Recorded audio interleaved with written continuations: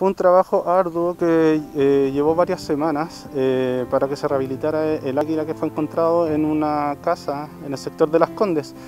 Eh, gracias a la ayuda de, mis colegas veterinarios que trabajan en, el zoológico, esta águila hoy pudo ser reinsertada en su medio ambiente natural. Y entender que cumplen una función muy, muy positiva digamos, en el medio ambiente, pero también que el hecho de que lleguen a la ciudad tiene que ver con el respeto que la gente está teniendo con ellas, ¿no? Cada día más coordinados. Ustedes ven que hemos tenido mucha recolección de fauna. Pareciera que la naturaleza se repone cuando los hombres empezamos a callarnos o a, guardarnos, digamos. Así que sin el trabajo de todos en conjunto esto no sería posible.